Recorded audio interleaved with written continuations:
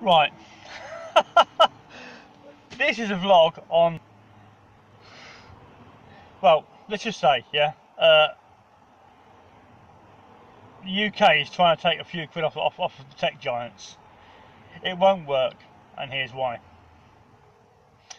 The UK is a few little islands in the North Sea, right?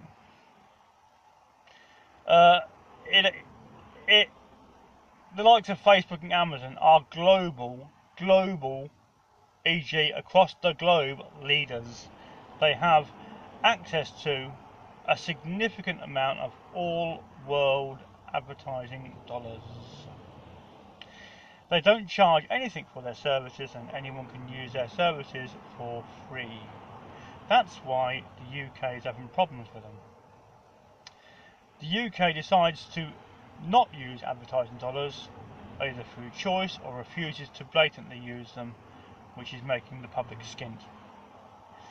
Uh, that isn't Facebook's problem. The, fa the fact that UK can't use or refuses to use advertising dollars funding method isn't Facebook or Google's uh, or Amazon's problem. They could care less.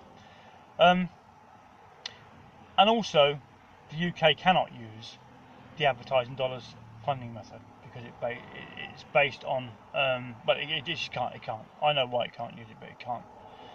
So it can never ever use, the UK can never be funded by advertising dollars.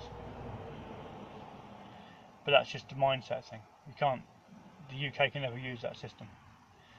So it has to take off individuals. The, the tech, the, the problem is, is that Google and Facebook are, are providing public sector services, which again will cause problems. The total staff of Google and Facebook is about 150,000 total for global. Yeah. UK has about 5 million staff to actually provide um, services to just the, just the UK alone. Straight away, there's a problem there, isn't there? You can reduce the public sector civil service by about 90% straight away, which is going to happen because um, the public sector civil service can't increase the budget. But they're trying to increase the services, which means that all the budgets, all the different, uh, all the different departments have to have reduced budgets, and that's why they're bleaching austerity. Austerity. Try talking to someone that's actually been on CSA for a bit. Yeah, they know a bit about um, state enforced austerity. Yeah and uh, or universal credit for a while. Yeah. they know a bit about uh, enforced austerity. So the state departments have got no nowhere no they can't get extra budget, which will pose a problem. But you can't if Facebook and Google and they could if they go down this route and could Amazon and, and Amazon not so much Amazon but if Facebook and Google decide not to provide services, their services to the UK, then we'll see just who has the power. The, the UK does not have the, the infrastructure to deal with a no Facebook UK. The public wouldn't be able to cope.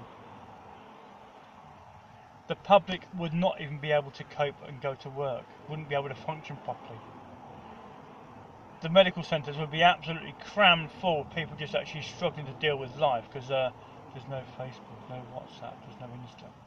How do we cope? How do we cope? If Facebook switched its services off from the UK, the UK would be absolutely in a proper pickle it couldn't get itself out. So when the UK wants to go telling uh, Facebook what it can and cannot do, the consequences of Facebook telling the UK what it can and cannot do would be significant. Um, the likes of not what the likes of which we've never ever seen it ever. Facebook and Google are digital kings. Failure to recognise that is, is as are, as is Amazon. I say kings because they're all blokes. If it was women, I would say queens. Ironically, queen.co.uk is for sale at auction this month, as is prince.co.uk. They have an obvious buyer. The .com buyer, I would think, would be interested in the .co.uk. purely an assumption. Uh, and if that was the case, it's only going one place. If it, if that's the case, um, because yeah, yeah, oh, that's a different subject. Um, so um,